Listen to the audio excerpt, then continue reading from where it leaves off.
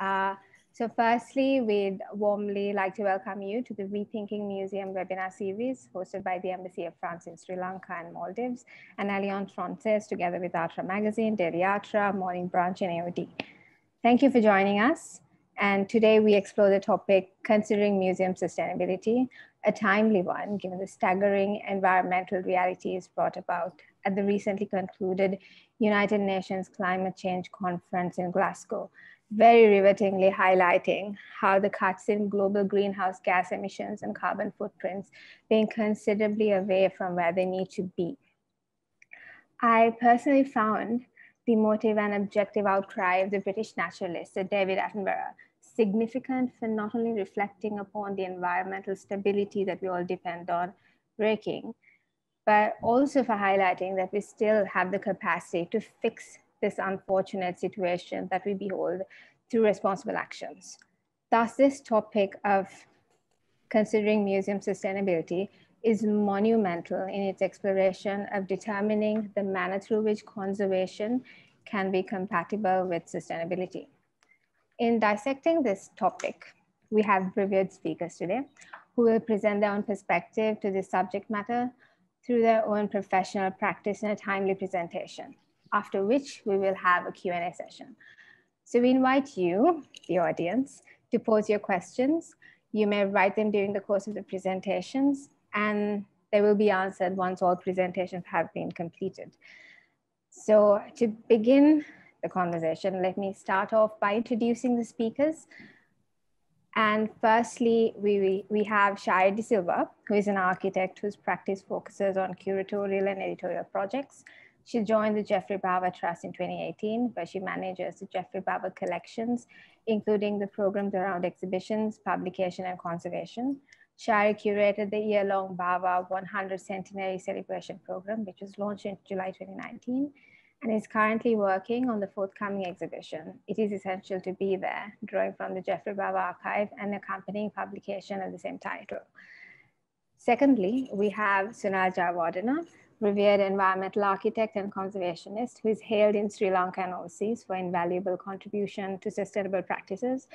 Sunela, in fact, approaches architecture as an applied form of art, of which her overarching creative influence is by and large of environmental innovation, exploring the ecology of sites and sustainability of human habitats. She was the first chairperson of the Federation of Environmental Organizations in Sri Lanka and was recognized as Sri Lanka's leading environmental architect by the Time magazine in 2007. Thirdly, we have Kinga Grege, who is an esteemed curator and project manager at the Home Museum in Paris, who also has 10 years of experience as a scenographer, responsible for traveling exhibitions at the National Museum of Natural History in Paris, the culmination of a multifaceted professional experience has led her in conceptualizing and implementing actions in favor of the circular economy in temporary exhibitions. Fourthly, we have Chani Perera, who is a strategic advisor to AOD, one of Sri Lanka's leading design schools BA programs team. She curates and facilitates innovative approaches to the pedagogy of AOD. Her main focus with these efforts is to develop and encourage multidisciplinary approaches among young designers in appreciation of local and global design, craft, and art practices. And finally, we have Anaïs Roesch, who has been working on the crossroads of art and ecology for the past 10 years. She holds a degree in international cooperation and at the Simon Bolivar Andean University in Ecuador. Anaïs Roesch also graduated with a master's degree in curating from the Leipzig School of Fine Arts with honors for a final project on the curator, a diplomat in the era of ecological conflicts, an attempt to compose the world through curatorial practice. She is currently in charge of international development for AWARE, Archive of Women Artists Research and Exhibition, and is also involved in energy transition issues with the think tank, the SHIFT Project, where she initiated a study on the curatorial sector. And now the presentations will begin. And over to you, Shayari. Thank you so much, Azara, for the introduction and for Aurelia to, for inviting us on this panel, which I agree is a very important um, topic and certainly something that's at the forefront of what we're trying to engage with at uh, Geoffrey Bawa Trust. Just gonna share my screen. You can see my screen. Um, so the Geoffrey Bawa Trust was established in 1983 by the late architect. And our mandate is to foster and further the arts, architecture, and the environmental and ecological uh, sciences in Sri Lanka and, and further afield. And this work was really begun during the architect's own lifetime with the establishment of travel grants, artist residencies, and scholarships. Following the architect's death in 2003, um, the Trust uh, initiated an annual memorial lecture and a triennial awards program to further this work. Um, in addition, uh, the Trust manages the estate of the late architect, which includes the gardens Lunuganga, which we'll look at closely soon. And in the gardens, there are, as part of that plan, there are two islands with, um, a, there's also a project where the Trust, working with the Wildlife Department, has begun uh, to, to study and protect a native species of deer called the hog deer. I, as um, through Azara's introduction, probably my field is really architecture and artistry. And I joined the trust in 2018, uh, where the following year, 2019, would celebrate the architect's 100th birthday. And with this program, we, initi- we did a year-long program of talks, tours, and exhibitions that was really beginning to look at our collections, our work as a museum, which until then had not really been institutionalized. Um, and with that work, we also began to look at what our goals were, what our values were, and how we further the mandate that was given to us by the architect. A key document for us has been the 17 Sustainability Development Goals by the UN, which have also been adopted by ICOM in uh, 2019.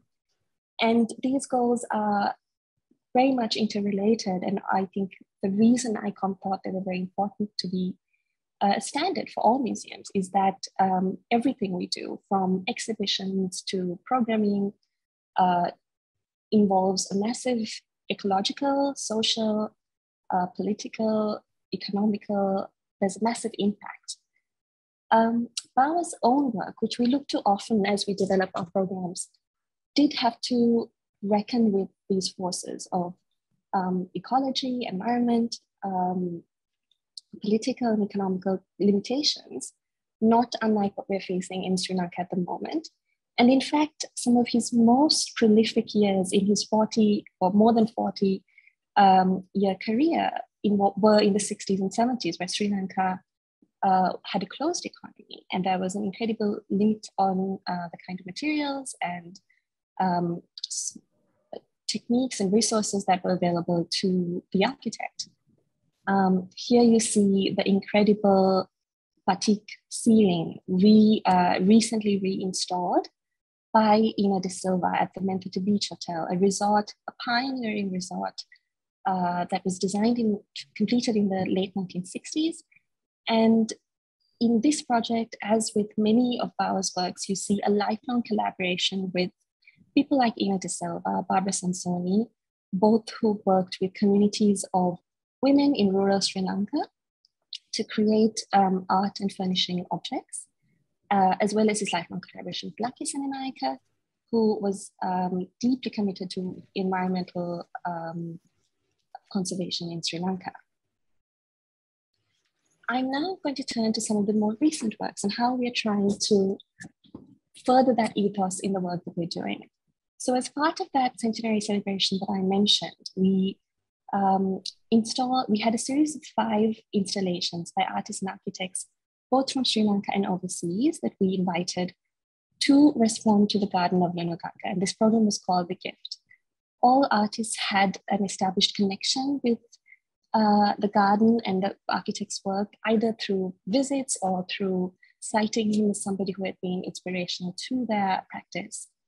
And two projects that I'm going to just look at, uh, although with all five of these projects, they ended up being local. They were um, projects that we developed very much with the artists. So there was quite a loose brief, which was to engage with the garden, make this work in celebration of this practice.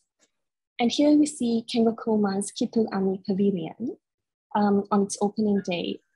This uh, Sakuma, as you all know, is a Japanese architect who whose practice is very sensitive to materials, um, especially those that can be found um, locally to the sites which, within which he works. And it was an idea that started with a simple sketch, um, then took on a parametric dimension, and he would develop it, um, you know, in Tokyo using the technologies that his practice is familiar with. And then it had to, we had to figure out how do we make this in Sri Lanka, where um, we worked with, this is Dishna Shiromali, who was the lead uh, crafts person, really, the, and her team wove this entire Kitul surface. And this we this project really kind of celebrated the work that Bawa himself did, which was to look at how do you make things with what's available. Um, it's a project that isn't meant to last forever, and, and Kikuma was very um, specific that once the Kitul disintegrates and the pavilion is dismantled, um, and for us, it was a way of working with somebody who's used to working in museums across the world um, to use design as a driver to figure out what is possible in a local context. A second project from this series of five installations that I'd like to look at is Zephyrus's Breath, a sonic work by Taiwanese artist Lee Mingwei, whose works are often about intimacy and encounter. When Mingwei was originally invited to work with us, he suggested he brings uh, a similar structure of um, a circle of 50 bells that he had installed in Scotland as a part uh, of, a, of, a, work called Trilogy of Sounds. It was one of three pieces in that series. Um, and very, there were big copper bells that he had done in Scotland. And very quickly we realized um, actually there was no way in which we could bring these works without using our entire installation budget um, to bring the works in Scotland. And also that in terms of scales, uh, doesn't have the kind of giant fir trees that were um, in his, at his site in Scotland. So what we ended up doing was to work with the artist to make these bells within Sri Lanka using precast brass uh, tubes. And this process also allowed us to make something that responded to Sri Lanka. The brass bells actually have a timbre that's very akin to temple bells in Sri Lanka. And Lunu Garden itself is a garden that has 14 bells scattered through it. And with these projects, um, we didn't, sustainability was important to us, but also feasibility was important to us and budget was important to us. And it was really something that we worked with the artists. And in that process, we're trying to figure out how do we make sure we're not spend we're not it's not that we're not having a ridiculous shipping uh, a carbon footprint through shipping things across the world. And how do we make these in Sri Lanka? And this um, whole project happened in was being planned during the right in the aftermath of the Easter bombings in Sri Lanka. So we were also very aware of the constraints and of course, um, when you look at the conversations around sustainability in museums, they are often about how do you limit your, your footprint? How do you um, limit the kind of traveling, uh, how when, when an exhibition travels, what materials do you import? And these ideas have been very, very important to us even as we continue. So our next project, which is opening on February 1st, it's an exhibition on drawings from the archive we're very excited because it's the first time these drawings have really been shown in person anywhere. And actually, it's the first time that um, Bawa's work has been shown in a comprehensive way in Sri Lanka, even though there have been multiple exhibitions on his work in the UK, the USA, Australia, India, Brazil. But again, we were faced with works in paper and archival works in paper, of course, incredibly delicate and incredibly sensitive to changes in temperature, changes in climate. And we had to work a way of framing these in a way that doesn't damage the works themselves. Um, initially, we had hoped that we would be able to ins- import the basic archival framing materials. But of course, the changes that we've seen in Sri Lanka meant that those that's become financially and logistically impossible in Sri Lanka um, at present. And so what we've done is we have worked with Udaya Hevabasan, who uh, is a conservator, a, mod, a contemporary art conservator we work with very closely. Also, you can see in this image my colleague Christopher Silva. Um, we've worked to create a framing system that basically will seal these objects from the outside environment. Um, but using materials that we've created. So we have learned, we've had to figure out how to create a mount that was lower acidity and um, by, by creating it ourselves. And I, I don't want to go too much into the details because um, this will also now be part of the work we'll talk about when we open the show. But essentially, we've partly through just having to do it, um, and partly through a lack of resources, we've found a way that we can show these works in a way that is acceptable in an international museum standard, but that is also using local materials. Um, may I ask? I believe you're not mute. Just sorry. Thank you. Um, so these are two two instances in our recent work that we've had to um, address issues that are aligned with the sustainability goals. Um, but we also, what we hope is that using the experiences of the last three years and then our projected um, our projects for the next three years, that we are able to identify actionable um, sustainability goals so that we can develop a more systematic policy that then we can actually adhere to um, that is aware, that is responsive to our particular situation, which I think is limited in many ways, is very, um, is always in flux, uh, kind of um, the logistics of running a museum in Sri Lanka um, involve being able to respond to constant changes. Um, but we also, in addition to the, to the kind of large uh, project-based efforts that we're taking, um, we are trying in just our more kind of mundane day-to-day activities. For example, um, when we have uh, merchandise that are about you know creating to take this brand across um, to new audiences across across the ocean. And when even when we produce items like that, we're trying very hard to work with small businesses that do have a sustainable goal in their practices um, to produce those items. And we think very deeply, um, and I'm very work with a team of um, a young team that is personally committed to these goals. And so everything from how we think about packaging, how we reuse um, packing items if objects are moving from one place to another.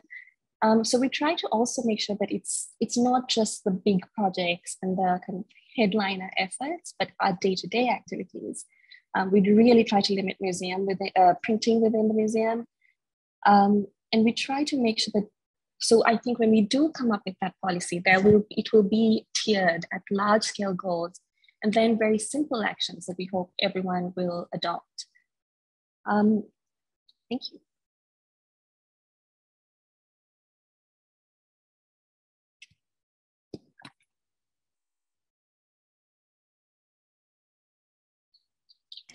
Uh, thanks a lot, Shayari, for sharing the vision of Geoffrey ba- of the Geoffrey Bawa Trust. And I must also add uh, the element of the virtual experience that you all have been uh, very strongly uh, communicating to the audience with the with uh, you know some of your architectural talks to uh, the curation of the art at the spaces have also contributed to a newer way of accessibility and at the same time um, a sustainable means uh, by and large in conservation as well. So um, yes, uh, that was insightful. So going forward, we have Sunela who will be presenting her uh, perspective. Over to you, Sunela.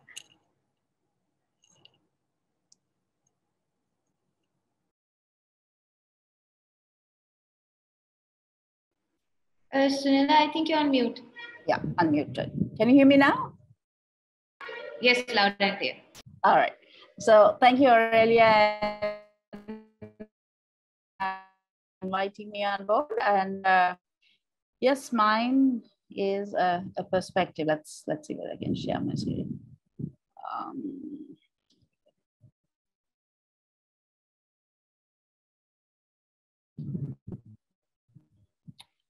um, can you see the screen? Um, yeah. Can you see, uh, see the screen? Not yet. Not yet. Okay, let me see this. Uh,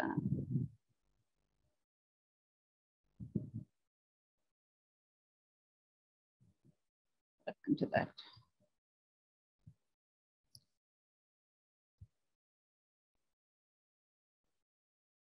Um, into that.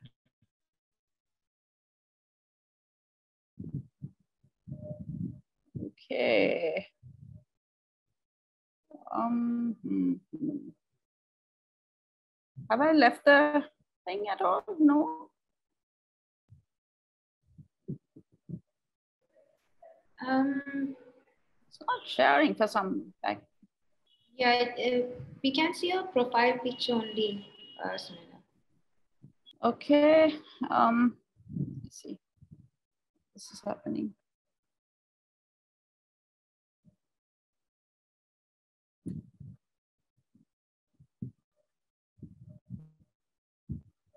Can you see it now?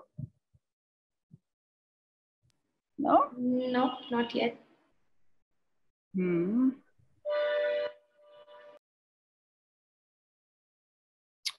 Okay. Um.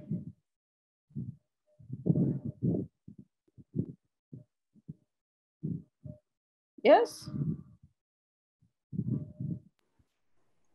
Ah, yes, we do. Okay. right. Sorry. Sorry about that. I know what was going on. Okay. So um, yes. Uh, I've uh, actually um, in my practice I've uh, focused on environmental design because I think uh, it's uh, environment is my greatest passion. Um, and I've always seen architecture as a tool to um, try and uh, try and uh, conserve uh, environments. And um, you know, uh, when I started this practice uh, 30 years ago, this wasn't really um, as cool as it is today. So I think um, from being um, uh, very much on the periphery of uh, architectural thinking, uh, environmental design has now become, um, um, you know, come right into the center of human existence. Uh, so that's where we are at today. And then when Aurelia asked me to speak on uh, museums, I started looking this up. And uh, as uh, much as I am a museum buff, you can't keep me out of museums uh, if I travel. Um, um, I love museums. And, um, but I do understand where they're at. Um, reading uh, and researching uh, the subject for this talk, I um, came about this, uh, that museums are the servants of our planet's shared memory. And this is so true because um, I think um, traditionally um, museums uh, very often began with uh, private collections, uh, colonial looting, uh, which then uh, was kept in private collections, which then were built up into national uh, um, presentations. Um, so that's, yes, it is a, a collective memory of humanity uh, sometimes even a reluctant uh, membership of a collective, but that's what they are. And traditionally our museums, which, you know, the greatest museums in the world, you uh, get the Metropolitan Museum, New York, you have the Louvre, uh, you have the British Museum and everyone in the world has heard about it. I've heard about these three museums. Um, so many more. There is the St. Petersburg Museum, which is uh, old, older than uh, definitely older than the Met and uh, about, I think about the age of the Louvre. Um, uh, there's Prado in Spain. There are so many fabulous museums. And um, when you look at them, um, they're pretty old. They're really old. and um, and then you look at the size of these museums uh, and you're looking at massive, massive uh, spaces. Um, and you're, you're looking at these collections, which are uh, really, really um, uh, astounding. Now, um, the problem with these collections, of, of course, you know, you're not going to see all these pieces. Uh, there must be vast stocks uh, uh, in storage, which might never uh, see the light of day, but um, you know, some there's a huge percentage which is uh, stored there. And uh, then there is a public um, uh, display, which traditionally has been this kind of space where you're looking at um, um, HVAC or heat, uh, ventilation and air conditioning for both the items on display and uh, for the public who are viewing them. And um, I think that's um, what the standard is today. So uh, besides, besides the large part that's in storage, you're looking at um, this portion, whatever, whatever percentage that a museum uh, decides to exhibit to the public, um, you're talking of, uh, of a huge energy consumption. And that's, that's where this problem is. Um, so if, if, you, if you look at um, the, the what what a museum consumes. You have energy, uh, which is light uh, heating and air conditioning. You have water, which is uh, you know the consumption, um, whatever your public uh, uh, usage. You have your administrative usage. You have the grey water disposal, and then you have the material, which is also very important, particularly in in the building of new museums uh, what kind of material is being used. Are these um, materials which are environmentally accepted by today's standards? And what then is the application that what kind of process is being used to construct these museums? Um, so um, now this is of great concern because um, what is happening very sadly is that even the new museums, which are being built, uh, what some 250 uh, uh, years later, um, they are still, uh, the footprints are massive.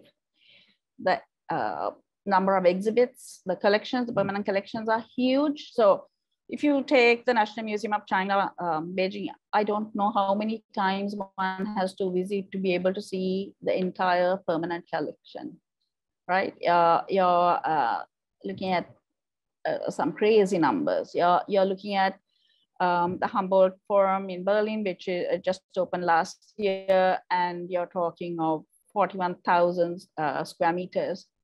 Um, you're talking of a museum in Oslo, uh, the National Museum in Oslo, which is opening next year. And you're talking of an even bigger space, so 5,000 uh, exhibits. Now you might say 5,000 exhibits of which maybe 50 stay in your head, right? Um, so my, my question then is, um, can we afford this today?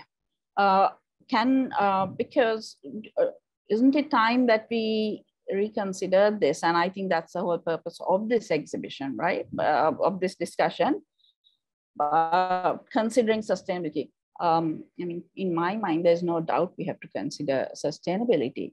Uh, but um, what is being looked at here? Um, we are we what has changed from uh, when the British Museum was built, from when the Louvre was built, uh, from when the Met was built uh, 100 years after the Louvre and the um, British Museum. Are we looking at alternate exhibition methods? Um, limited HVAC exhibits so that maybe the, um, you know, the some of the um, exhibitions are, um, uh, you know, uh, you sort of cycle it in a way that uh, only, um, you know, something uh, light and heating triggers with a certain crowd or accessibility, that traffic management, uh, you know, where you uh, certain galleries open only during certain hours because you know if you go to a museum you you don't look at everything. I mean i, I come out feeling dizzy uh, because uh, i'm one of those people who uh, believes i have to see everything and then you know i, I can't uh, knowing that nothing you know, you know what small percentage actually goes into my head i'm still you know uh, um, can't help myself. I'll try to uh, wade through everything. So are we talking about limited galleries um, where people can you know actually choose the days and what they want to see? Are we talking about uh, limited access uh, for research only? Uh, are we talking about maximizing digital access? And what are we doing about maximizing natural light and ventilation?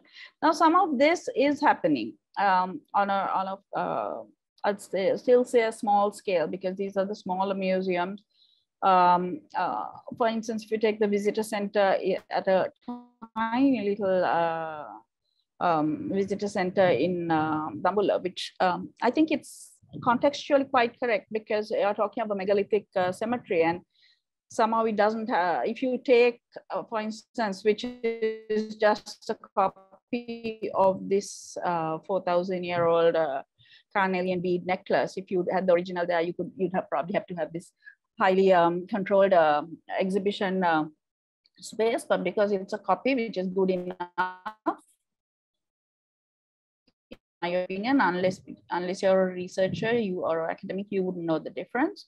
Um, you could have it in this context because this, in, in a way, uh, it, it uh, is, if you look at this, it's a better um, um, it, relationship to its um, original uh, time than say to uh, a very bland uh, panel box which is uh, you know you know paying for its uh, lighting and for its uh, air conditioning.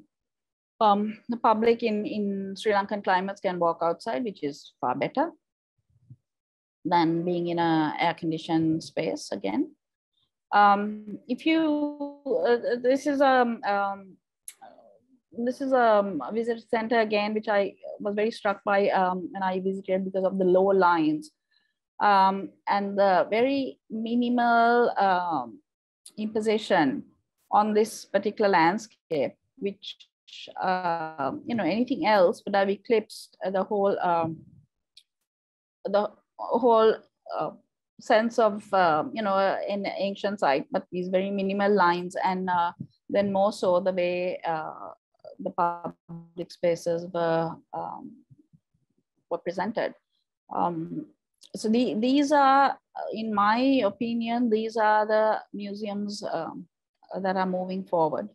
Um, this is the Mona in, in uh, Tasmania, again, a small private museum with a very uh, limited um, enclosed public area, which I, I, again, is where we should be going. Um, talking of bigger museums, this is uh, the Louvre in Abu Dhabi, and where um, you know the in the United Arab Emirates, um, the building uh, um, far more um, spacious than all the tiny museums I just showed you in uh, Volubilis in uh, in uh, Tasmania and certainly in Sri Lanka. Um, they can certainly afford it, and um, here's uh, an architect um, uh, who's um, thinking about these spaces, thinking about creating, um, uh, I think uh, here uh, is a public space uh, covered by this metal dome, which is um, actually quite fantastic. Um, and this whole idea of um, uh, shading, which is thereby uh, done naturally, and you can wander around in this space so on. But what does worry me is um, the metal that, the steel that went into creating this fabulous dome, um, they say exceeds uh, the steel that went into the Eiffel Tower. Um, so yes, I mean, uh, Abu Dhabi can afford it, but can we as a planet, we as a afford that kind of uh, material extraction? Um, and then I wonder, uh, is that the best we can do? Because this we are we are still only talking about sustainability. Um, personally, I think sustainability is a we're just past that now. Um, we don't have the resources um, to sustain. Yeah, Sustainability is yesterday. Today we have to talk about regeneration, and I think if um, again my uh, we want this is that any large space, any space, your tiny domestic space, you it has to be about regeneration. And um, I think design has the responsibility to push beyond uh, uh, sustainability and to regeneration. I, I am uh, looking at that fabulous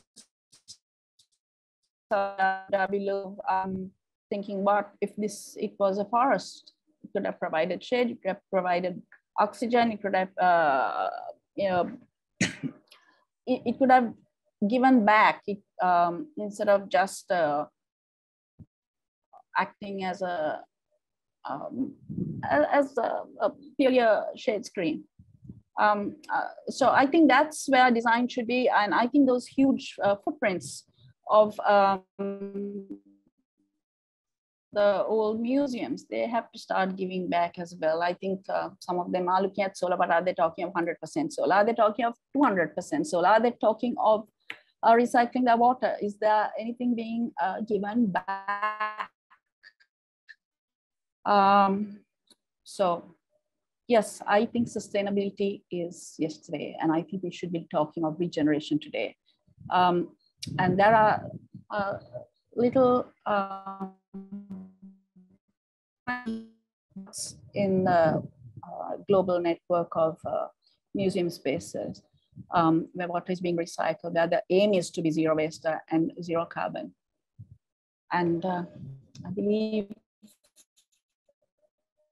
uh, museums, certainly, being um, holding uh, the memories of uh, our planet, have that responsibility.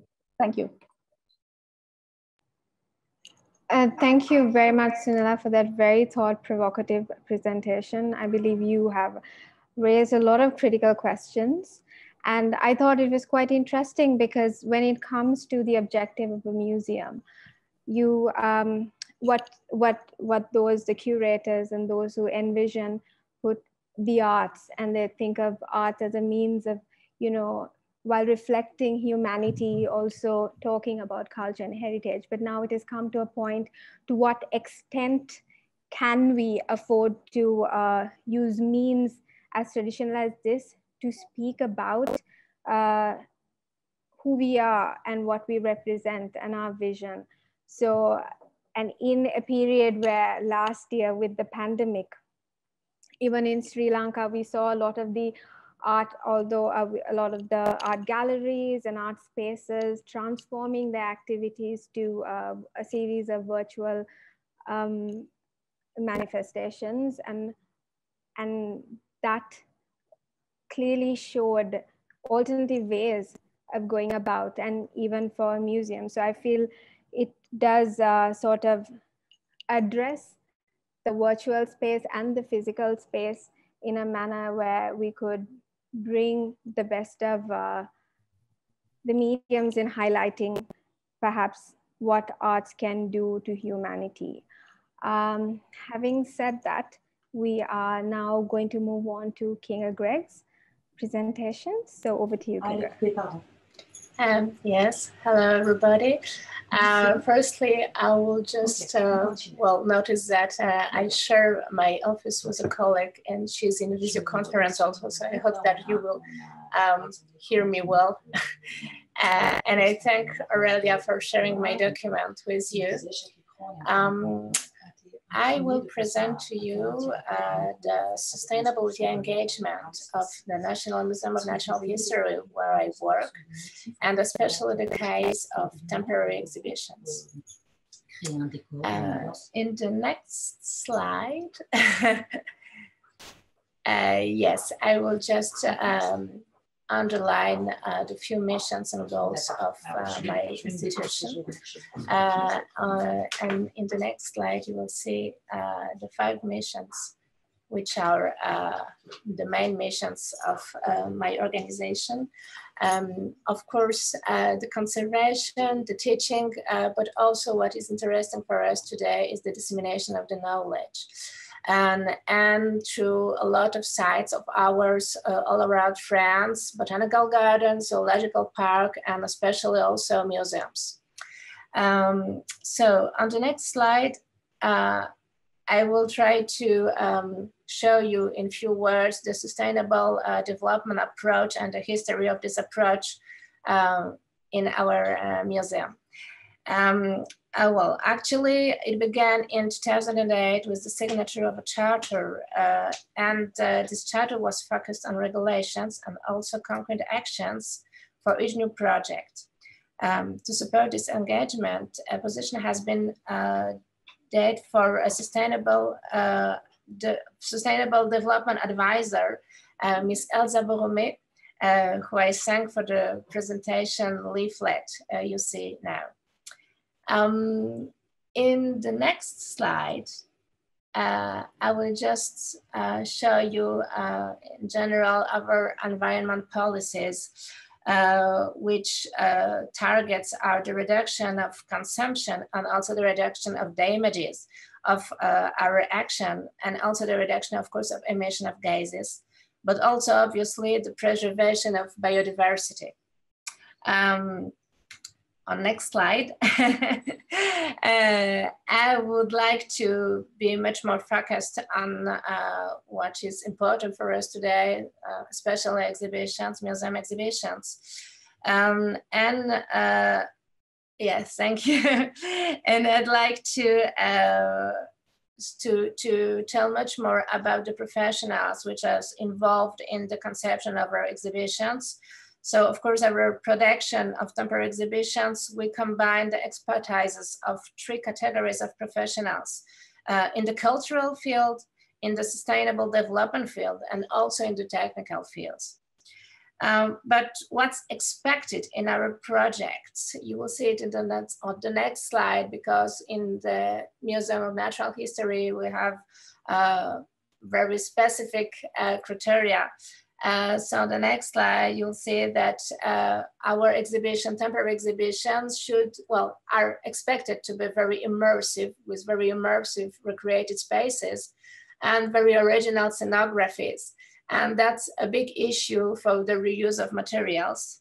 Um, also because we have a lot of constraints and the constraints, the first one is the incapacity of storage and also a very, very short time for dismantling of the exhibitions. Um, that's why uh, we've started a reflection in 2012 about how to manage the end life of our exhibition. Uh, and you will see it on the next slide, then uh, four years after we managed to uh, have an amendment authorizing transfers of our furniture and materials to non-profit organizations and non-commercial. And then uh, we started to give our elements uh, to our own sites all around France for an internal reuse, but also to association and public organization. So we will see it in the next slide. Uh, yes, some, uh, some important dates. Uh, but uh, we would like, of course, to go further and not only to be focused just on the end life of the exhibitions. That's why on the next slide, we asked, uh, we wondered, uh, what can we do to reduce our impact, the impact of the production of our exhibitions? Um, and we decided uh, to go further to analyze in 2017 uh, the life cycle of our exhibition and especially of one of them. Uh, you show here the, uh, the visual of this exhibition, which was Espèces d'ours. Uh, yes, and see here you see a scheme of, uh, of, yes, of a life cycle of an exhibition from the selection of the subject, of course, to the end life of, of the exhibition, uh, passing through the dismantling, of course, the manufacturing phase, the design. So it is the whole uh, process of the conception of our exhibitions. And uh, in the case of Espèces d'ours, uh, that you will see in the next slide, uh, first of all, it was important to define, define the scope of the study. Uh, so it was an exhibition on 600 square meters, temporary exhibition. And uh, we started to analyze all the impacts of the materials that were used for the exhibition. On next slide, you have some uh, important points.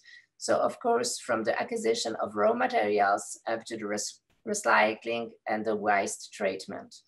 And uh, after this analysis, uh, our results, um, we, we tried to rank the results of this analysis uh, and we see that at the first uh, level, uh, we found the floor, the carpeted floor, which impacts are the most uh, important uh, in our exhibitions. The second impact, it was the impact of the walls, the wooden walls in, uh, constructed in MDF. And the third impact, the most third important impact was the Dibond, the material used for labels, graphic labels. Uh, so that's why uh, after this analysis and uh, having obtaining those results, uh, we tried to do some recommendations uh, for, well, actually in the next slide, better alternative materials, better that carpeted floor, maybe with natural materials. for MDF also with some other wooden panels uh, but of course, uh, the best way is to try to find a, kind of sobriety in using of the materials. Um, that's why uh, we tried to uh, do something more for next project. And you will see it uh, in the next um, slide. Uh, and it is, it is our very last experience. Uh, actually, it is an exhibition which is open to the public and now it opened in October this year. Uh, and I've been the curator of the exhibition. And my proposal was to um, be the more uh, eco, uh, to, to, have, to get the more eco design process as possible and not only to be focused on the end life of the materials, but to begin uh, this reflection from the very beginning of the project. Um, so my first aim was to reduce uh, the, the quantity of materials and to, to try to, to get a kind of sobriety in that.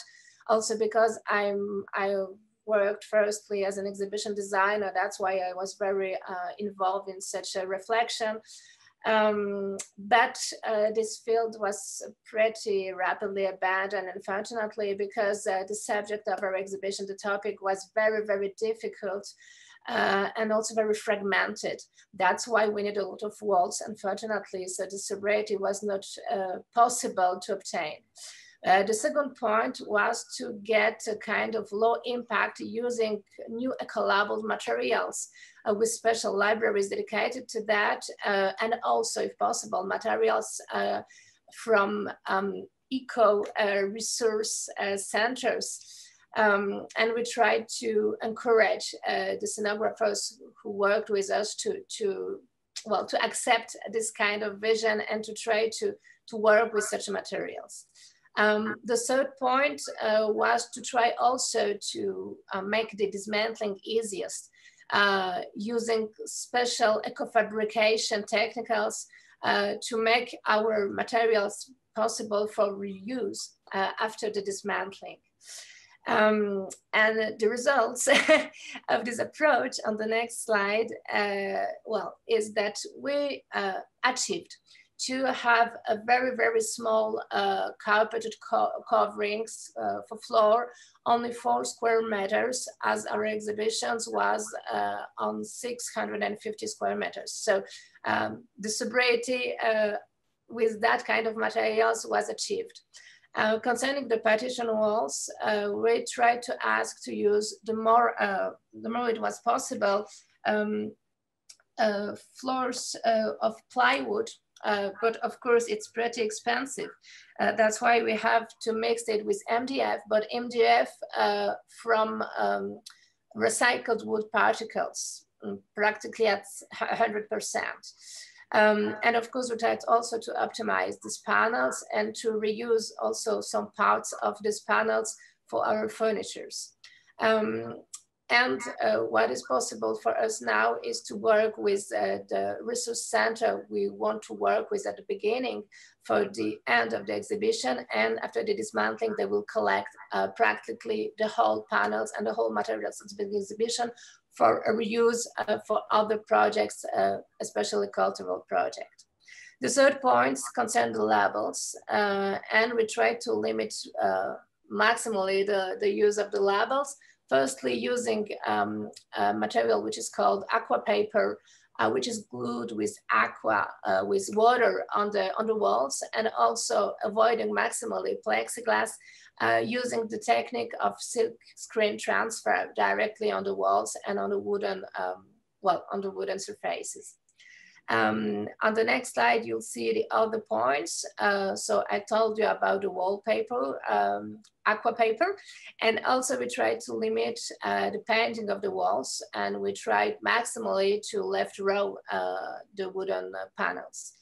Um, other point also, the fifth point is the provenance of the art pieces. We try to limit also uh, the transport of the art pieces uh, and we choose to show uh, pieces, especially from France, even if we have three pieces uh, from abroad, one from South Korea, another one from United States, and the third one from Great Britain, but uh, the majority of the out pieces are local. Um, and the sixth point uh, is our uh, devices, and we try to optimize uh, as more as possible uh, the stock of our uh, of our digital and our lighting device and uh, when it was absolutely impossible to um, manage our project with our own stock, uh, we occasionally try to use um, a stock, rental stock, but not purchasing it. Uh, and now I will show you some uh, views of this exhibition just to materialize a little bit more what I'm saying.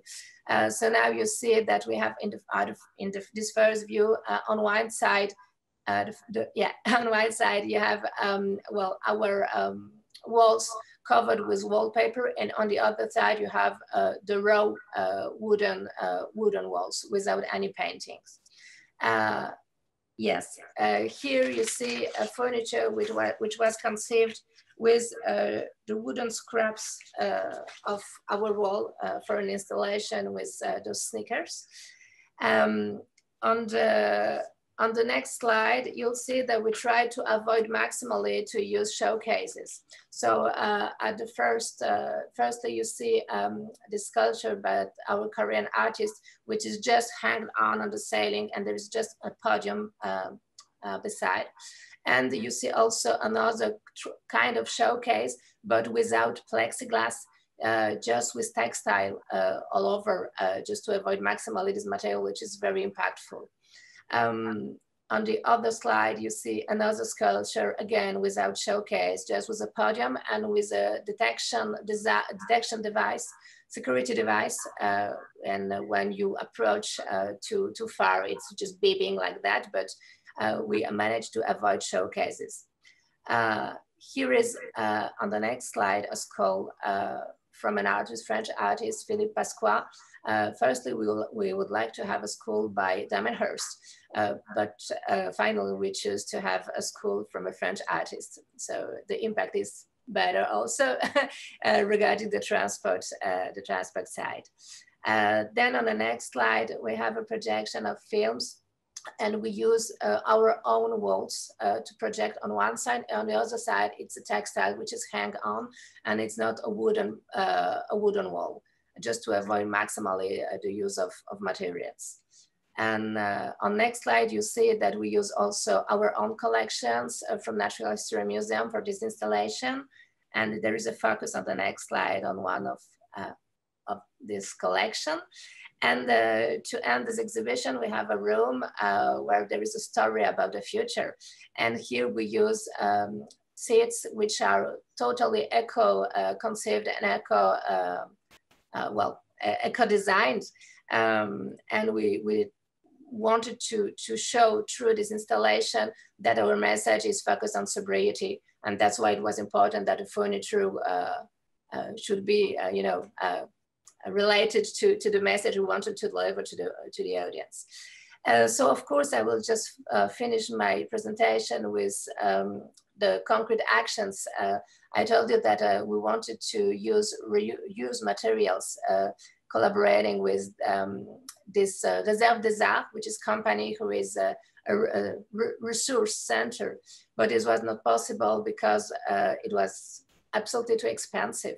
Unfortunately, for the moment, it's too expensive to transport and especially to manufacture reuse materials. That's why we were not able to, to do this. And, and well, unfortunately, it's not possible for this project, but I hope so maybe for next project with um, maybe a, a, lower quantity of, uh, of, of panels, it would be maybe possible to retry again uh, to consult some firms and to, to well, integrate uh, reuse materials in our project.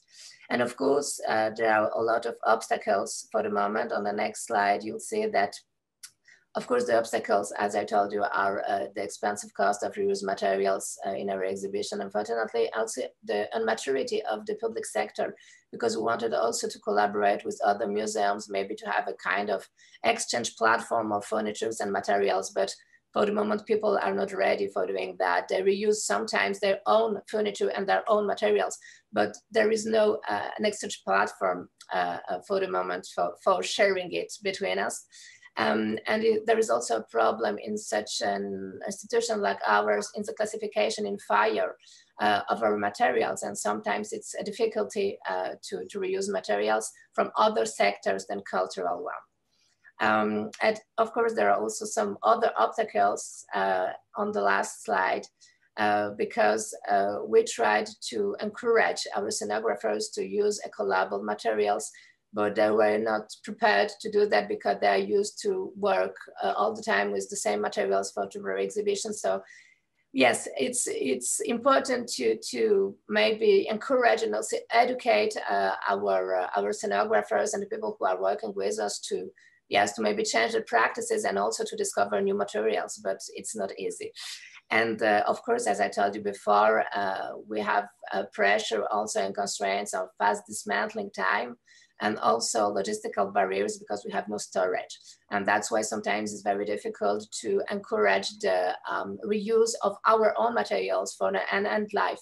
But we try, well, for the moment, uh, we, we tried to, to um, do our practice better. And for this, uh, well, uh, exhibitions I just uh, showed you, uh, I hope we will achieve to, to, to give and to reuse all the, all the materials that have been used for, for this project.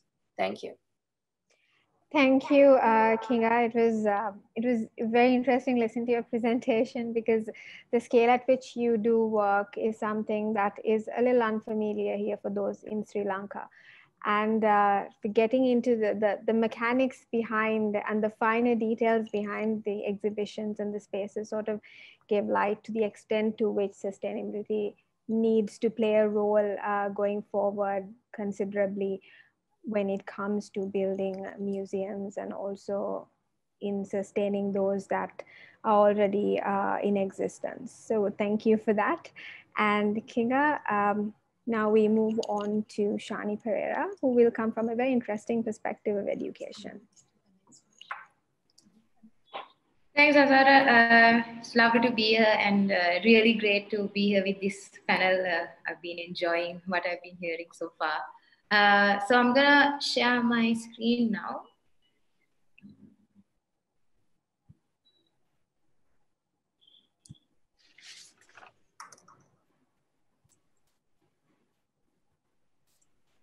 I should be sharing my screen. Yeah. Okay, great. Um, yeah, so um, I'm going to talk uh, a little about um, conservation and sustainability from uh, my background with the Academy of Design, uh, which is design based, of course.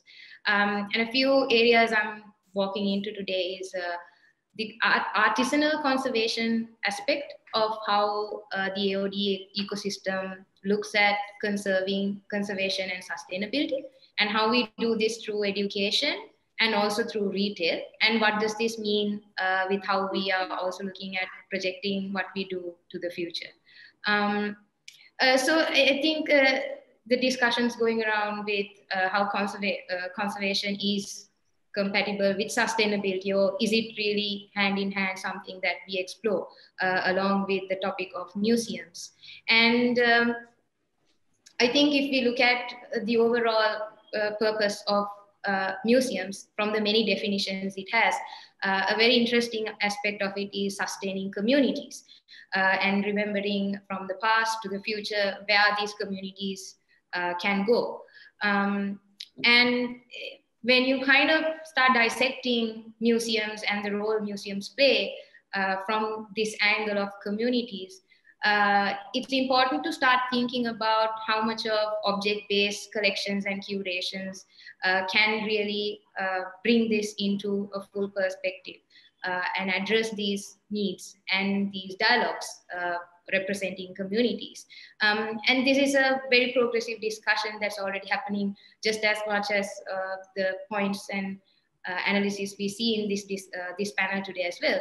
Um, so looking beyond muse, if we are looking beyond museums as object-based collections and storytelling spaces, uh, where else can we go to do this communal uh, storytelling and uh, discussions about communities? So ideally kind of looking at how decentralizing museum spaces and what other spaces can the same activity or the same uh, experiences happen in other active, uh, active creative design spaces is something I'm going to talk about today. Uh, ideally, with again with the AOD ecosystem, uh, how this happens in educational spaces and how this can happen in retail spaces um, is what uh, mostly I'll be talking about.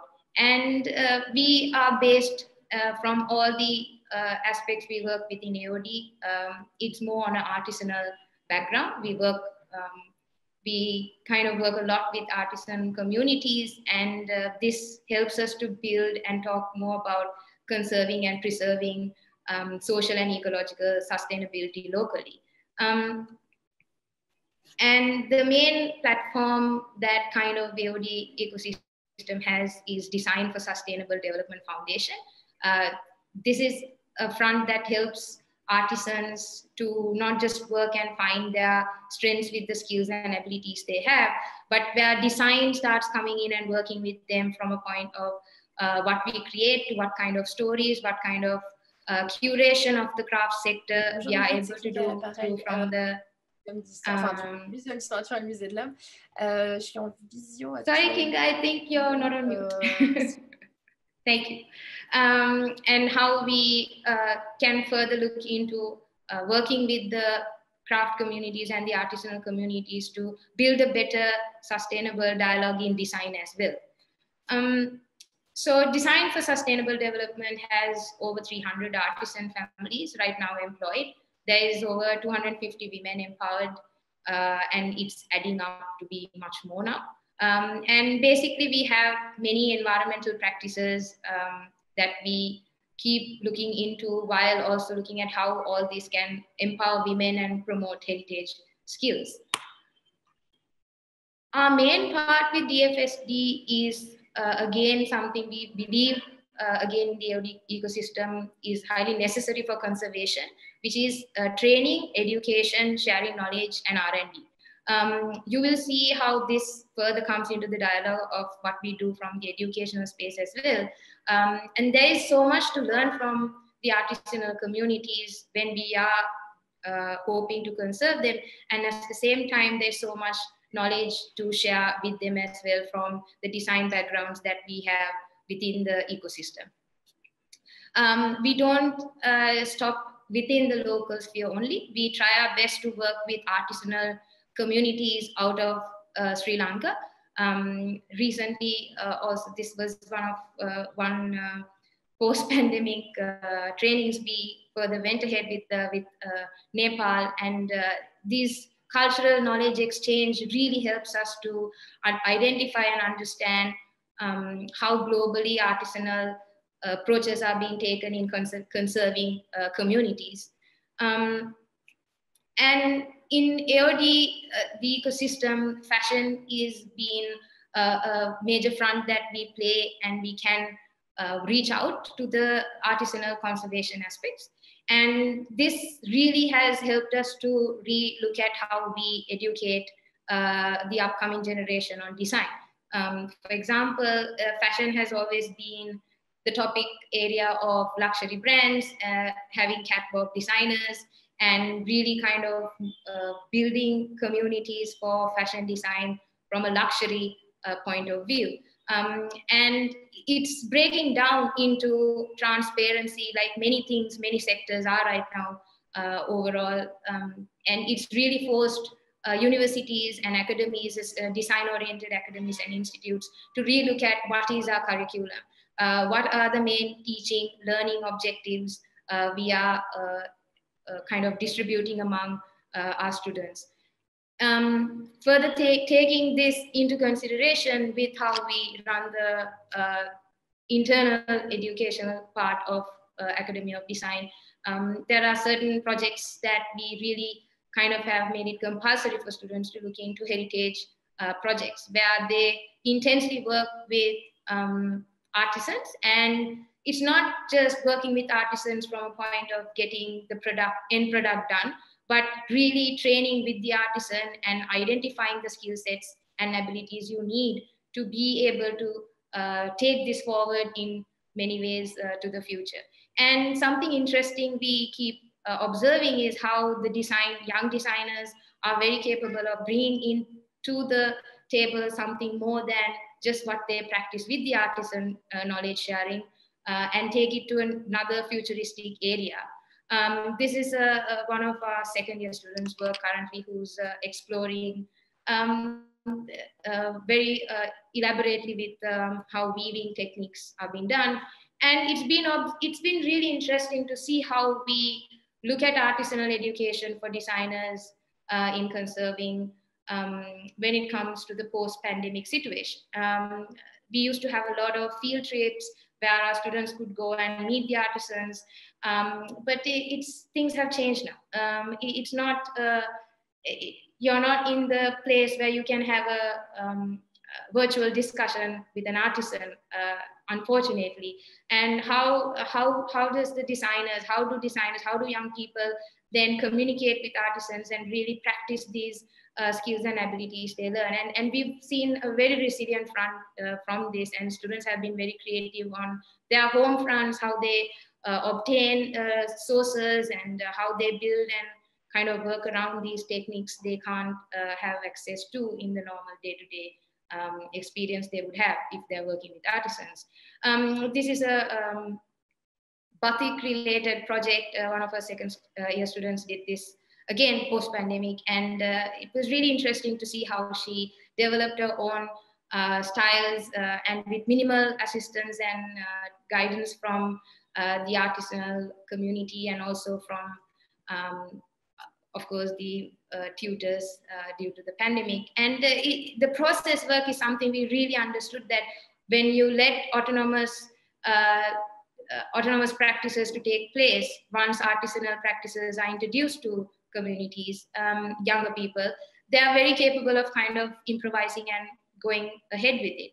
Um, uh, this is a, another heritage project where uh, the handloom and the weaving, everything was very experimental. And uh, post pandemic, it was much more experimental than we, us we usually see with our explorations in heritage project from students.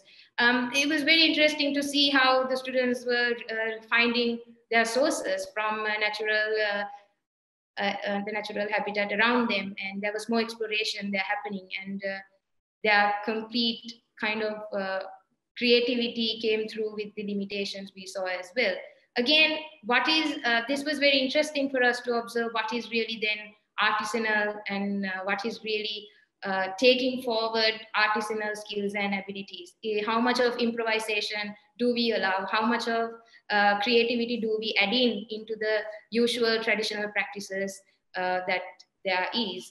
Um, and I think we see this more uh, with our alumni when they actually go out after learning their practices from the artisanal front in conserving um, and they kind of bring in the innovation factors and the tech factors from upcycling to uh, looking at new uh, methods of uh, relaying uh, the artisanal techniques learned, um, or even looking at uh, incorporating uh, technology such as Kamali's collection, which has a water resistant handloom. So it's very interesting to see how artisanal conservation can take you into a progressive aspect through the educational sphere and the knowledge exchange that happens from a conservation point. Um, and from a retail space point, uh, it's very interesting to see how we can look at artisanal skills being uh, curated through um, the retail uh, products and services that happen with the curation of them as a brand or as uh, as stories uh, of the retail aspects that we see. Um, and these are uh, there are a couple of segments of uh, products and services we see under, for example, Urban Island, uh, again, part of the ecosystem for AOD. And it's very interesting to see how the curation of it happens, um, not from a retail marketing point, but we really kind of build the stories around conserving, again, the artisanal and the heritage factors we use, the products and um, manufacturing processes with it. Uh, everything here is sustainable material. Everything here we create is sustainable processes. And this is something that we really feel when we try to conserve uh, the artisanal community automatically starts becoming inbuilt within the designers and our AOD uh, individuals as well. Um, so it's been interesting to see can artifact curation actually happen through retail as well um, just like it is being uh, something that is uh, something we can do uh, even with education. And uh, lastly, I just want to touch on another um, aspect of how you can look into the uh, digital and physical spaces of retail also, uh, where we look into phygital aspects, where you start combining the virtual and the, the physical uh, platforms for curation of uh, sustainable conservation um, aspects.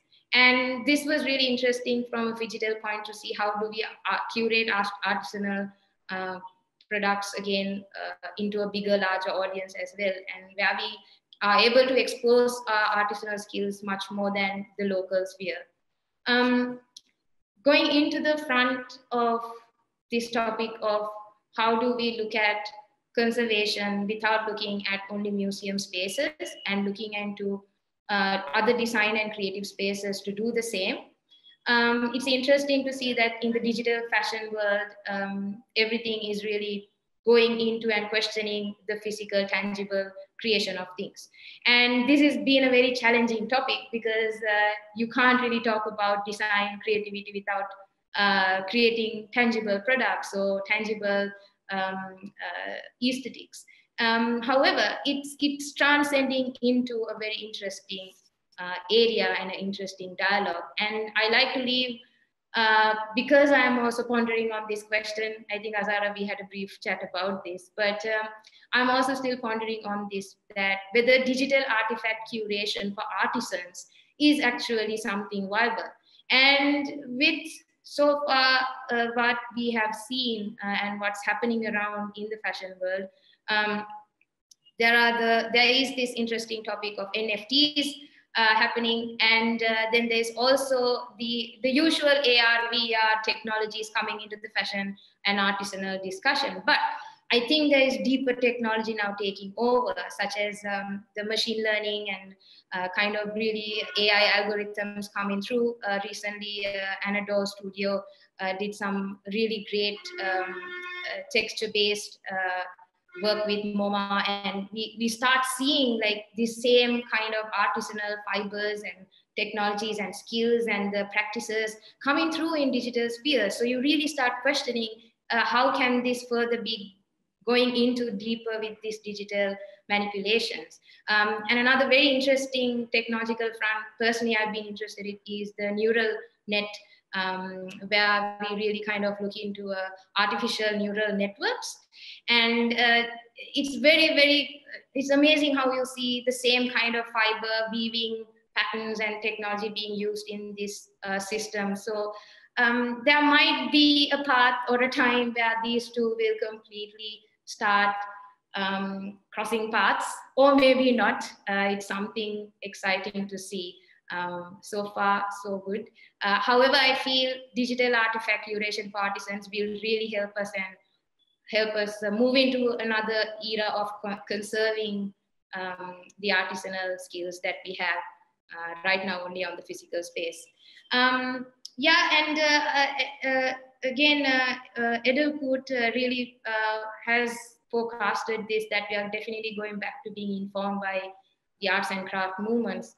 Um, yeah, personally, that's good news uh, for me, and uh, it's a great movement.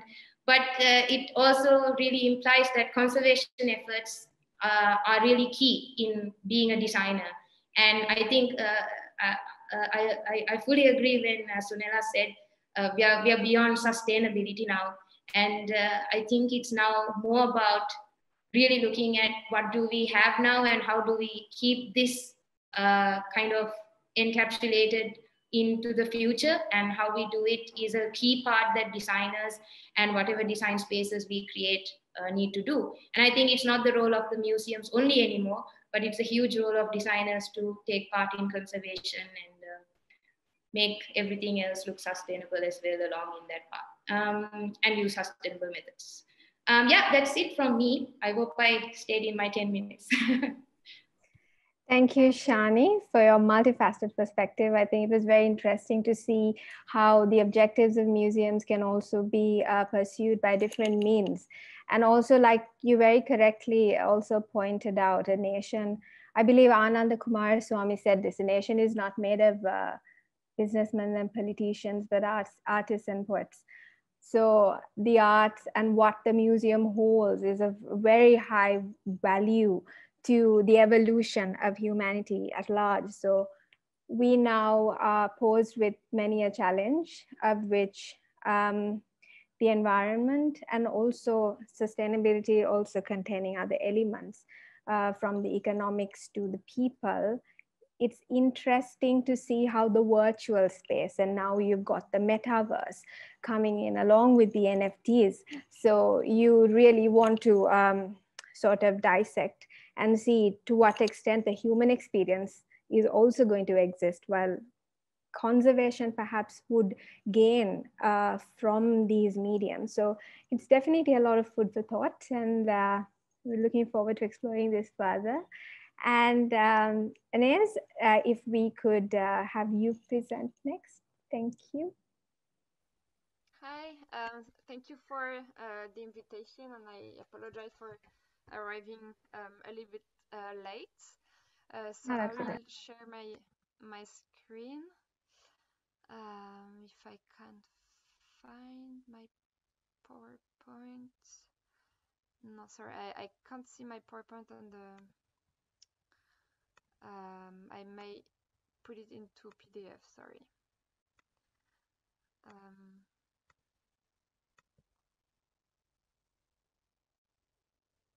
sorry for that.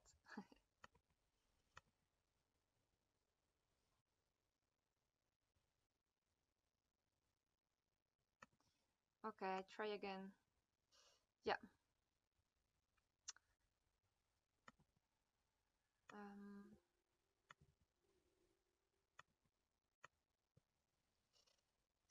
So, uh, so can you see my uh, PowerPoint? Yeah, okay. Yes. Uh, perfect.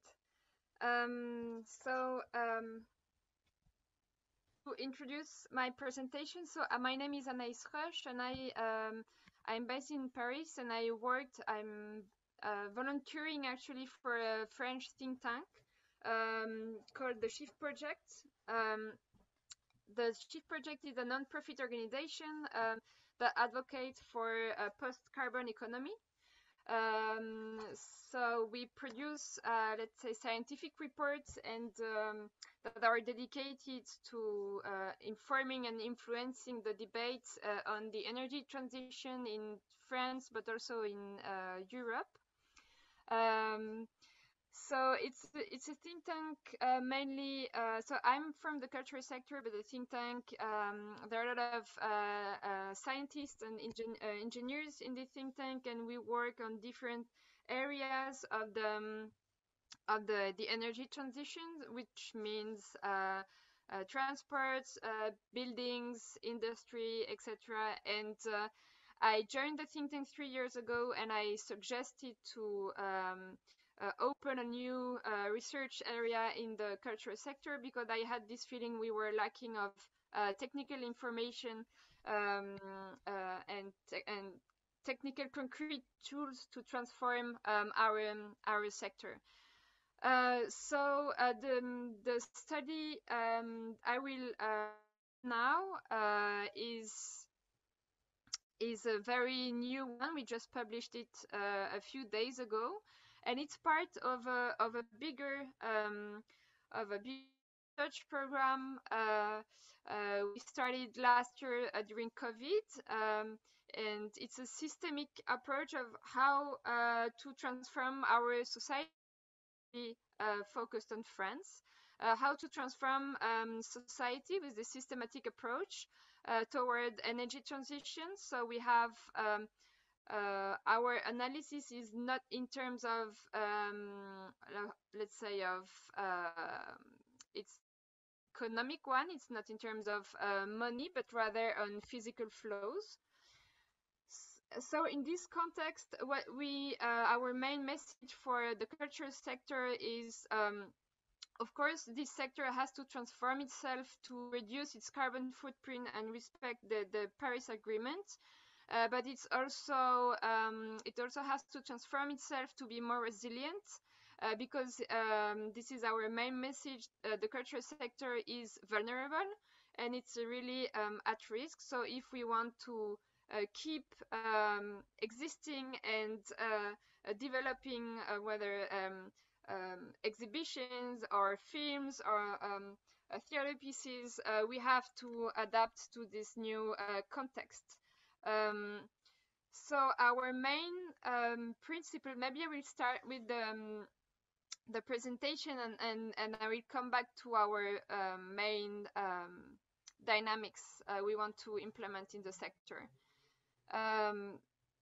So within this study, um, we, we have a small team. So each of, of us focused on a different cultural area. So uh, I focused on visual arts, galleries, uh, museums. Sorry, I didn't mention museums and art fairs.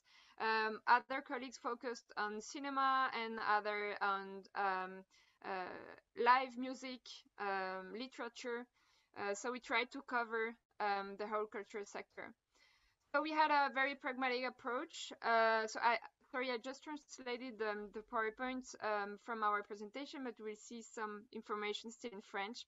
So we had our uh, a pragmatic approach um, uh, because um, uh, the visual art sector in France is really um, uh, heterogeneous. Uh, it's it's not it's very um, diverse. Uh, we have uh, um, private sector, we have um, uh, subsidized public uh, institutions, uh, we have um, artists and other uh, professionals with very diverse um, statuses and sometimes very precarious. So both economic, um, the production and distribution issues are really different, as well as the degree of um, exposure to the climate, clim climate and energy risks. Um, so, but I think that, that this sector, um, even, even if it's very diverse, has two common characteristics. The first one is that it's part of an extremely globalized system and therefore really uh, highly dependent uh, on fossil fuels on the one hand. And on the other hand, um, uh, it's this sector still uh, ignores uh, uh, its dependency and its impacts. Um, so in this study, uh, we don't pretend to cover the field um, exhaustively, uh, but we focused mainly on practices, existing reports, and studies produced by major uh, national museums, and also some foreign studies um, on the art market. So I will start with um, um this uh, part. uh, sorry, this I didn't. So as you can see, it's, it's, French and English. So the first focus um, uh, for us is uh, the mobility issue because uh, when we uh, started to uh, do our research, we um, we realized that the main issue was really about mobility and uh, this study I'm sharing with you um, really goes um, uh, drew the same conclusion. It's it's um, it's a report uh, presented um, in April this year by Julie's Bicycle called "The Art of Zero," and this is they they try to make a global uh, carbon footprint of the global art world. So it's a, it was a, a huge um, challenge. And so, according to, the, to this uh, study, the um, global carbon footprint of the visual art sector is of uh, 18 million um, uh, tons of um, um uh, gas emissions. Uh, but when you add visitors, uh, then it, it turns to 70 million, which is huge, which means that um, almost 75% of the visual art sector carbon footprint is uh, because of visitor travels going to biennials, going uh, to uh, foreign museums, uh, going to art fairs, etc., etc. Um, so, uh, and then this is another uh, study, so an another surveyed survey I used from the Art Market 2020 report. Uh, which surveyed um, 1,000, more than 1,000 uh, collectors. And um, according to this survey, uh, these collectors, uh, I mean, wealthy collectors, uh, attend on average um, 39 events per year, meaning exhibitions, gallery visits, and also fairs. And 18 of them um, are abroad. Uh, so what is really interesting for us uh, here is that among the sample, French, French collector are the are number one uh, in terms of uh, mobility, and they travel twice as much as uh, Americans, for example. So of course, this hyper mobility and the organizations and the events that de depend on it are extremely vulnerable to energy and health crises, crises as um, we saw, of course, with COVID. So uh, we haven't quantified it yet, uh, but we think that given this um, and this conclusion, um, uh, anal analyzing this different uh, survey, uh, since mobility is a primary source of carbon impact in a global art world, uh, then digitalization of fairs and events um, that were developed with COVID could be part of the solution.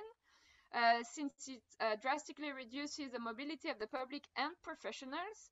Uh, of course, there are two limits to this hypothesis because uh, the mobility of the artworks uh, remains real on the one hand, and on the other hand, this should not divert our attention from the recent digital innovation that are particularly energy consuming, as um, Perera um, um, just mentioned before, for example, with the NFT. Uh, so we hope to uh, develop uh, further uh, research uh, in the coming months on this specific aspect of NFT and the impact of uh, the digital in the in the art world. So I have I can't give any number yet, but we are in the process of um, working on that. Um, and when we uh, look at museum, uh, we can uh, draw the same conclusions because, for example, when the Louvre, the uh, Louvre Museum calculated its first carbon footprint in 2009, it concluded that 99% of uh, its um, um, gas uh, emissions were linked to visitors. And similarly, the um, um, Grand Palais, the Réunion des Musées Nationaux Grand Palais, um, who also which also calculated its carbon footprint, uh, showed that year after year, almost one third of its emissions were linked to the um, to the visitors.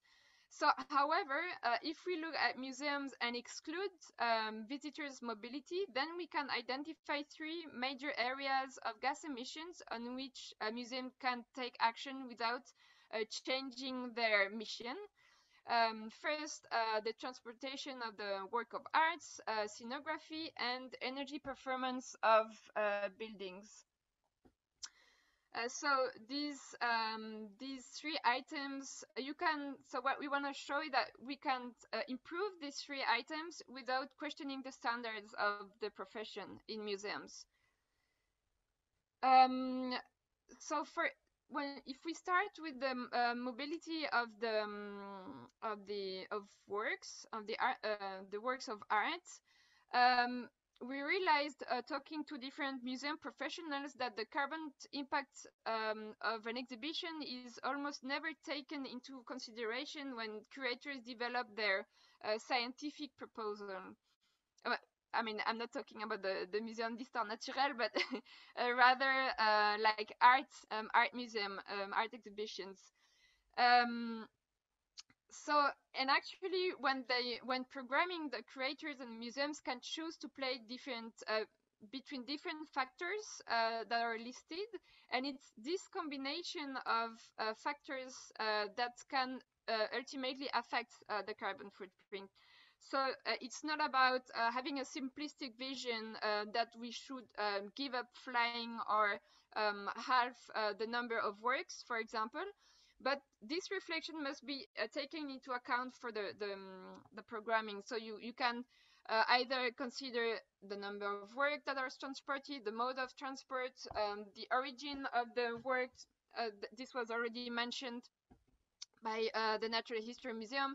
The weight of the works uh, is also uh, very um, important.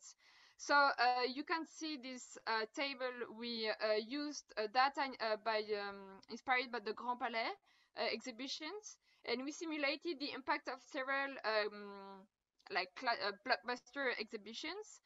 And we realized that, for example, a, a, European exhibition of a little bit less than 500 uh, works transported um, by uh, road uh, is more polluting than an exhibition of 200 works uh, transported only for one um, for 25% by air.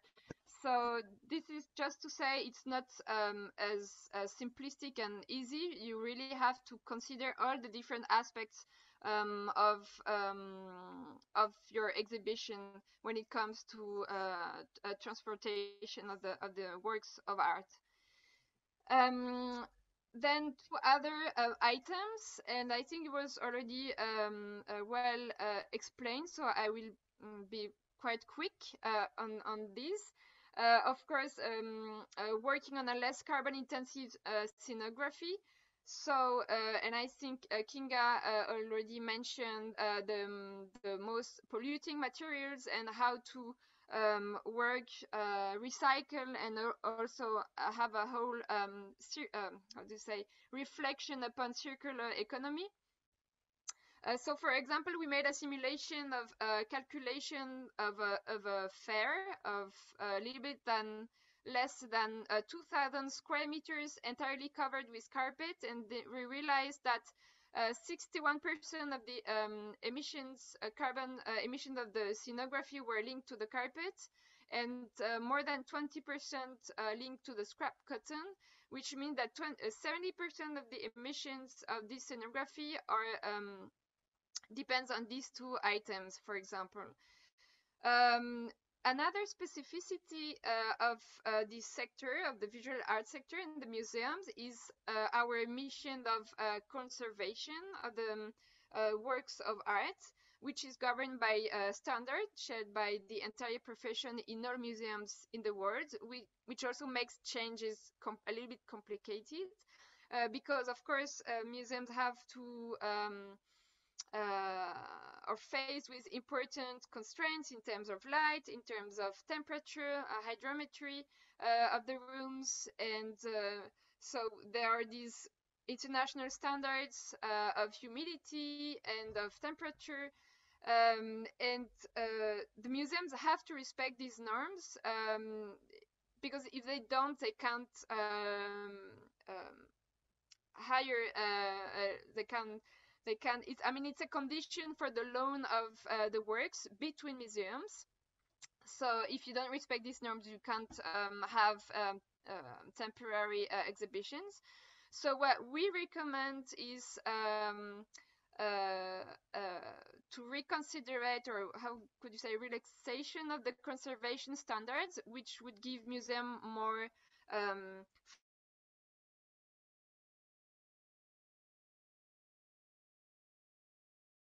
the heating on or air uh, conditioning of the spaces during temporary uh, exhibitions.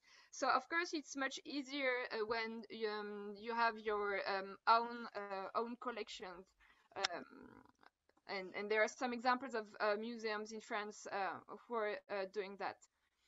So as I as I mentioned um, at the very beginning, we have um, in, for the whole um, research, the, the, this uh, study of the um, carbon foot footprint of the, the cultural sector in France. We have five implementation dynamics. Um, I mean, five, which mean five big principles. Uh, the first one uh, is our recommendation. The first one is uh, to uh, relocate activities. The second one is uh, simply, but it's not as simple as we think, uh, to slow down um, the third one is to reduce scales. Um, this has to see with uh, provenience of work. For example, if I take this um, example, um, the first one is to eco-conceive. so this is linked to um, both the works of art, but also exhibitions and scenographies. Uh, and the fifth is uh, to renounce or uh, to give up. And this is, um, for example, to renounce to to uh, new digital um, uh, innovations that um, uh, require too much um, energy, for example. So uh, in order to make these uh, transformations concrete and to support the sector's um, actors in this uh, decarbonization um, um, trajectory perspective, we have developed um, what we call a typology of transformations with for the, the visual art sector about 25 uh, proposals. I, I, will send you the link um, of our report. Um, unfortunately, it's, it's, in, it's in French. Um, so at this stage, we are not uh, in a position to quantify the carbon impact of uh, the application of all these transformations we suggest by um, 2030 because we still lack um, uh, data. This is a big issue uh, in the cultural sector. We have very few um, um, uh, data, so we have to uh, find them and, and do our own calculation, which really takes some time. So here a few, um, I've put a few examples of them and you can find all of them in our uh, report. So we have four categories. It's it's in French, but uh, it's it's almost the same in English. So we have uh, trans transparent um, transformation, which are the easiest uh, one to implement, than the positive ones, which means they're a little bit they're quite easy to implement, but the, um, they also have a positive impact on other sector um, involved in this transformation. Then we have stronger ones, offensive ones, and defensive ones. So to give you some um, example of them, for example, a very easy um, uh, things to do when you're in a museum is you can draft a charter of um, commitment of the museum that um, would be signed by the presidency and the, uh, the administration. You can also provide um, um eco-design tools for exhibitions, for example. Uh, then um, positive transformation are uh, related, for example, to uh, training of all professionals on sustainable development, energy and climate issues. Uh, you, um, you, can also request um, what we call yeah carbon estimate from transporters um, so to encourage the, um, the uh, transport companies uh, to be more um, to to think better of their impacts uh, in terms of transport and packaging. Uh, then the offensive transformations, uh, for example, we suggest uh, museums to allocate uh, uh, carbon uh, budget for temporary exhibitions. um, and also uh, to be more flexible, uh, but this is at an international level, to be more flexible on international uh, conservation standards. And then the, the defensive transformations, uh, so it's about uh, renunciation, as I said before.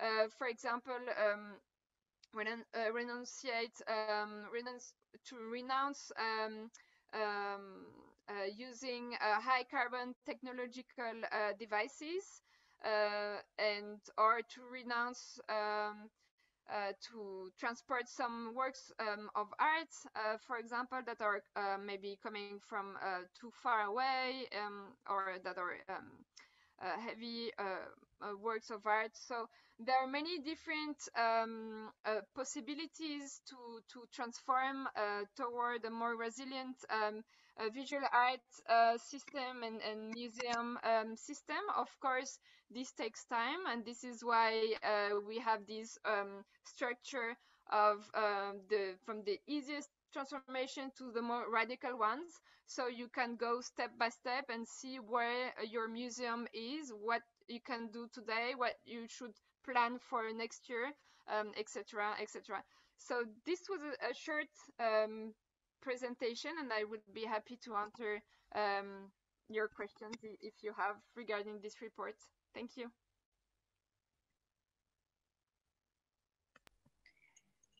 Thank you, Anaïs, for that uh, extensive perspective on the museum.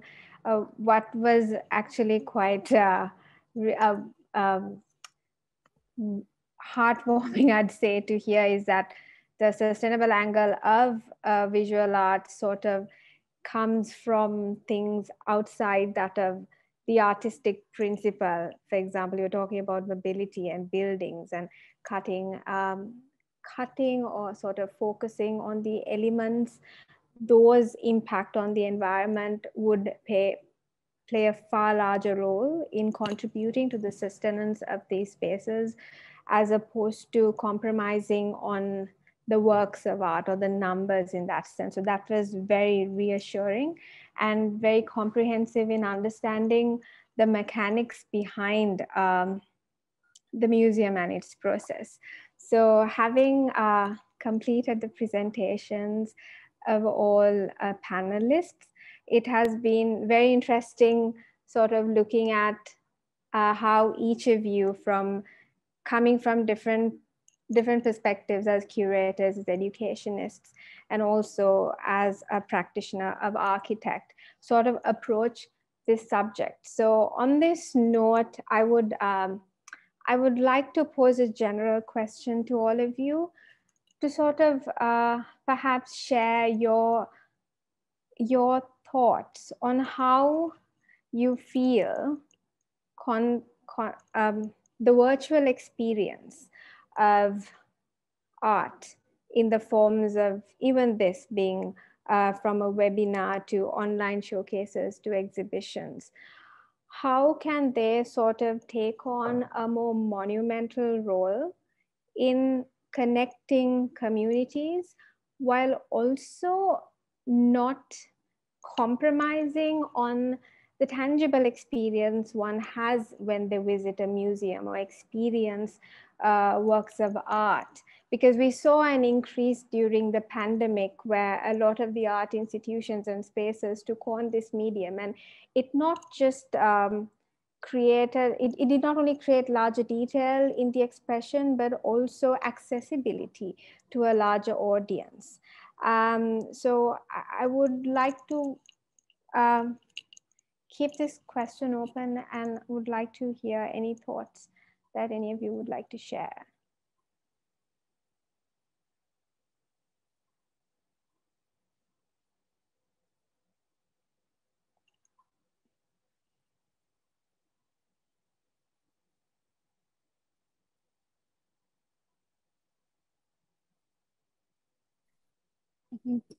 Would say, Azara, that to start with the idea that um, the virtual world has no carbon footprint is of course not it's that's something to be taken to task. And what we know is that um, the resources that go into even providing internet or sending a satellite that you know we have we don't I, I don't know if there's a way in which we have metrics for how that virtual infrastructure works against the museum infrastructure and where that I think that um, data is quite nascent. So I don't think we have comparisons or comparisons that we could apply here at the moment.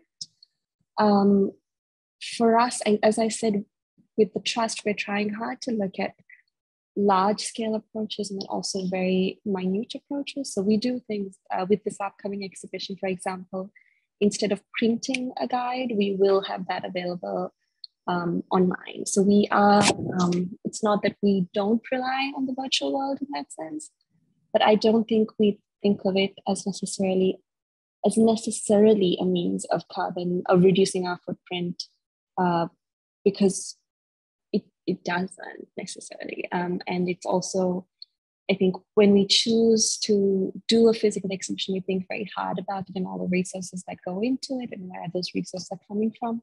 That initial decision comes with a lot of thought and where possible with, a, with figures to back why we're doing what we're doing. Um, but once that decision is taken, then um, it's not it's not it's never a case of like if we're doing a book it's not a case of do we make this book in print or do we release it um, online i think the choice to print a book we, we take that responsibility very seriously. And if it's a book it needs to last it needs to think about where its paper is coming from. We need to really think about how we move and is is it warranted? But the, it's not in our institution it's not um, i think we see those as two sort of stratospheres at this point, the what's happening virtually versus um, what's happening physically, although then there are these instances in which they can supplement each other.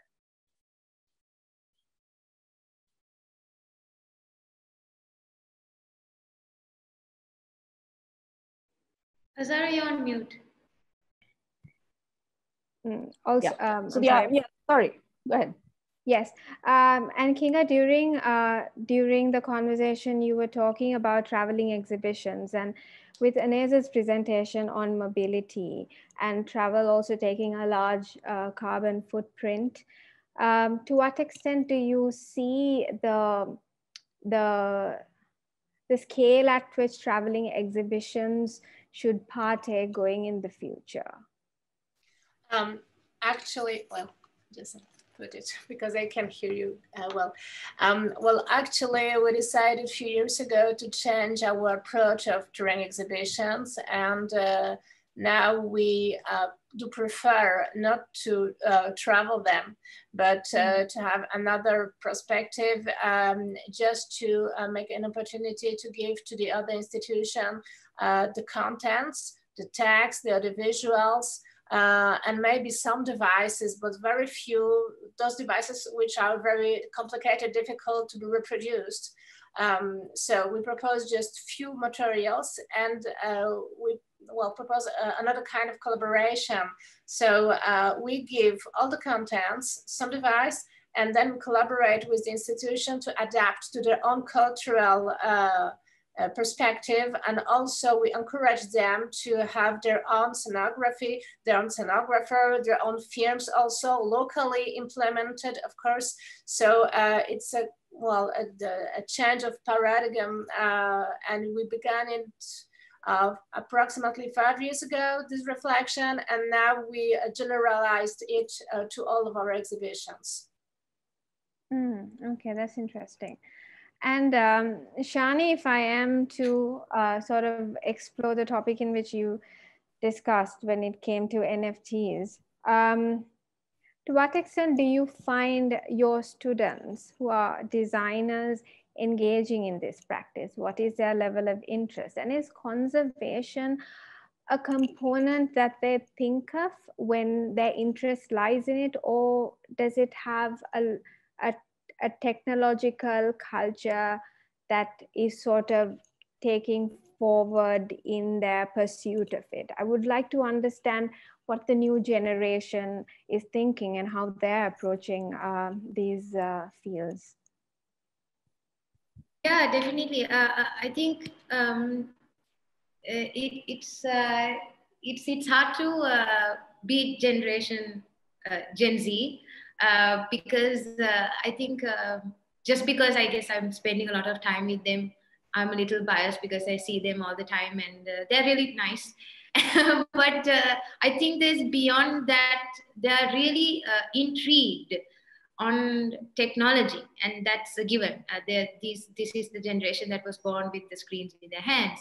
But um, they are much more avid believers of the better of better side of trying to make things better in the world or committing into their passions into their way forward in education may it be careers may it be what they will do in any context um, as a point of being responsible citizens so um, so if you even just saw, I mean, it was very brief, quick uh, uh, slides of uh, student work, but um, these are kids who are constantly on Snapchat or um, you know Instagram or whatever. But at the same time, when they're working with the artisanals, uh, artisans, they're completely embedded and infused with that culture and with uh, grasping that knowledge, and then they use their interest and their um, avid uh, interest in technology to try and really see what does this mean and where does this need to go. So even NFTs, um, yeah, our students are exploring it as well.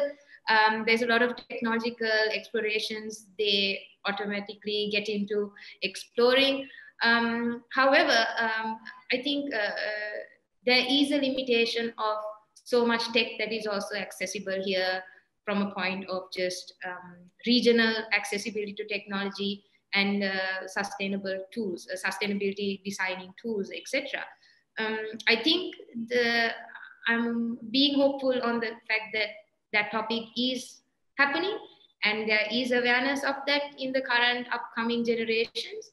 And I think because they are a very conscious group of um, uh, citizens, I think they'll use it to the betterment of things uh, and not kind of in a more uh, capitalist economical way, but really of making and changing things. Um, yeah, I don't know if I uh, kind of answered your question, Azara. Correct me if I'm wrong. And uh, Sunela, if I may ask uh, you, uh, as a practitioner of architecture and as someone who has engaged with buildings throughout your life, and now seeing how spaces are interpreted in different senses and also you like uh, like uh, Chani just brought in you have a virtual space and you have a lot of interest lying in it as well so how do you see this transformation complementing or um, adapting to some of the staggering of or addressing rather some of the staggering realities that you pointed out in your presentation very correctly. Well, uh, what you said earlier, Azara, um, uh, whether it can, can be done without uh, compromising the experience, I think um, there will be uh, uh, some compromising um, in that uh, it, it will compromise an experience as we have known it. It, but what it might actually be doing is changing the way we approach, you know, uh, uh experiences, uh, experience uh, um, that we were familiar with, but um, that we learned in the pandemic and we adjusted pretty well uh, to um, you know tailor our expectations to uh, what was possible. And i think uh, that may be viewed as a compromise that may be viewed as you know very practical reality of where we are uh, yeah, presently uh, in, in, terms of uh, the human impact on the planet you know the impact of the anthropocene on the planet so that compromise, whether it's uh, how one experiences it. It's, it's a matter of uh, how one chooses to accept and understand. And I suppose now sustainability becomes a priority, not a choice, like uh, many of you highlighted in your presentation as well. And now it's like you, Sunela, pointed out, it's not even about sustainability, it's about regeneration. We have come to a very um, unfortunate uh, circumstance in that sense. We but, don't have the. I don't think we. Yeah. I don't think we. I don't think. Uh, I. I'm saying. I'm saying we are past sustainability simply because we don't have the resources to sustain. Sustainability is based on adequate resources. We have run out of uh, those. So now we are past uh, sustainability, and that's why I'm saying we're talking about regeneration. We should be talking about regeneration. I think I think that's a wonderful thought to um, end with because it is about relooking, rethinking, and especially after the pandemic, a reset. So this could also be that conducive moment in which we all reflect within as to what our priorities should be, not just for ourselves, but also the organizations and the places that we are associated with in contributing to this uh, you know larger goal. Because i was i was honestly very uh, very uh, emo- like emotionally taken up by sir david attenborough's speech because he not only brought in uh, the negativity in the situation that we're in but the the capacity in which humankind also has to turn these events and this uh, webinar in that sense has been very uh, instrumental in helping us and those who um, are part of uh, this in understanding the scope at which we can. So um, since we have uh, now reached our time. Oui, bonjour, and, oui, bonjour, bonjour. Oui, oui, je suis dans ma... Um, euh, J'ai enlevé mon casque. okay. okay, so since uh, we are now on time to complete, thank you very much to all the panelists who shared their expertise and thank you for the audience for being a part of it. We hope you enjoyed it and we hope we have left you with you. a thought that would stay. Thank you. Thank you, Azara. Thank you, everybody. It was Thank nice you. having you all here. and I just wanted to to say um, uh, thank you also from from my end uh, for for your thoughts and how, for having accepted our invitation to to take part in these uh, in this conversation and also to invite you for the very final session that will take place tomorrow at 2.30 p.m. on the archaeological museums and, and when facing contested histories and illicit trafficking of cultural goods. So a whole new topic. Uh, and for this, we will be hosting Sophie Delepierre, who's the head of the Heritage Protection Department the International Council of Museums, ICOM. Jagath Weerasinghe, who's the director of the Postgraduate Institute of Archaeology at the University of Kelaniya, Ashley DeVos, a senior architect and conservator, and Catherine Barra, who's an archaeologist, operations and research officer at uh, INRAP, the National Institute of Preventive Archaeological Research. So thank you, thank you all, thank you everyone, and uh, I've learned a lot. And thank you, Azara, for moderating this. And thank you. Thank you. Thank you. Bye. Bye.